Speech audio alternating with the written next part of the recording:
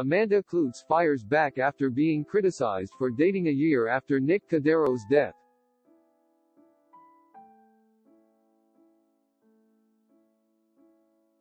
Amanda Kloots was not going to stay silent after being criticized by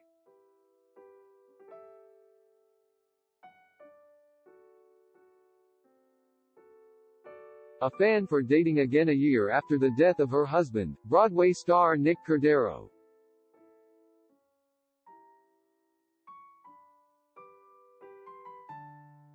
Amanda Kloots is dating and if you have a problem with that, well, that's a you problem.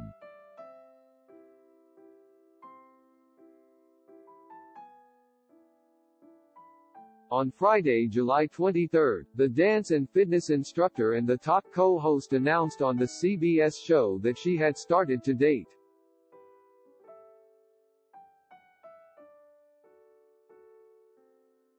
A year after losing her second husband Nick Cordero.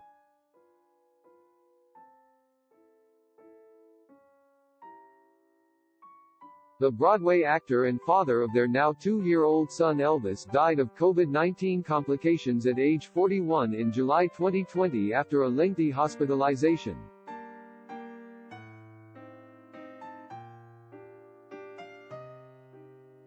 Both of my husbands, I met doing Broadway shows. We became friends first and then got married.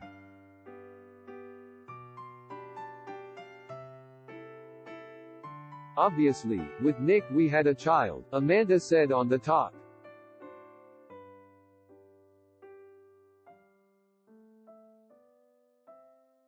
I've never actually had to date and I just started dating again and it is so crazy to be dating for the first time at 39 years old.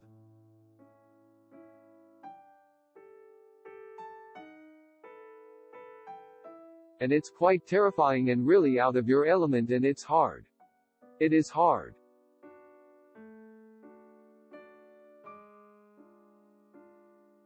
She continued, It's all wonderful. It's wonderful people I am meeting and it's been a great process so far.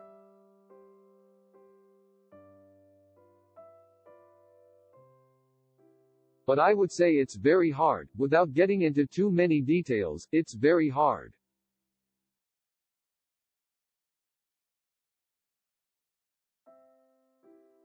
Later, on an unrelated Instagram post that Amanda had shared, a person commented, dating already wow that was fast.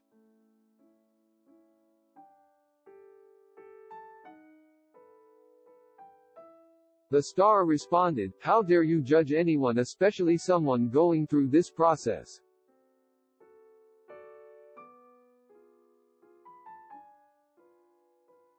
Amanda continued, I will address this soon guys I promise.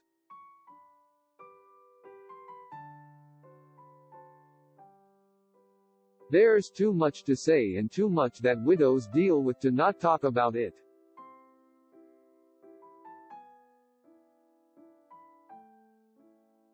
Until then I will call out anyone who is rude enough to comment like this.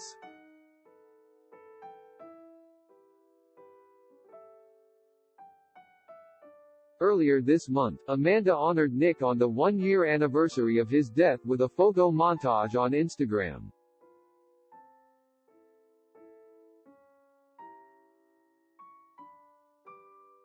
One year, she wrote. Today hurts, there is no other way around it. One year ago you left us and became our angel in heaven.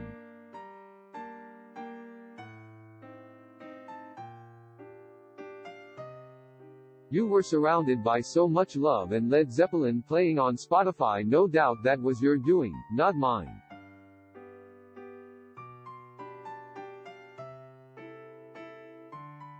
What happened was unthinkable, losing you was my biggest fear.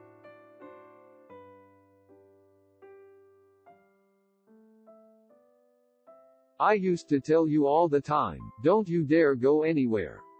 If I lost you, I don't know what I'd do.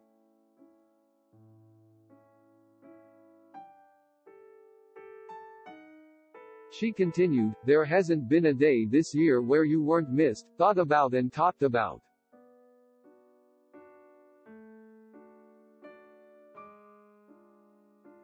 Thank you for being our guardian angel, for sending me signs, for being my DJ in heaven.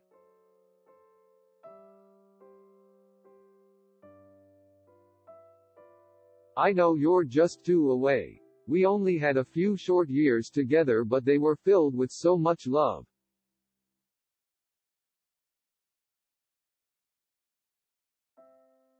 Laughter, adventure, dreams, change and growth. It was my Nick era and I'll have it forever.